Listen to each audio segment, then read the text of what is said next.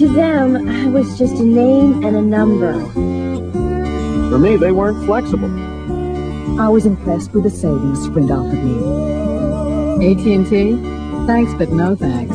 Been down, oh, been down, won't ever go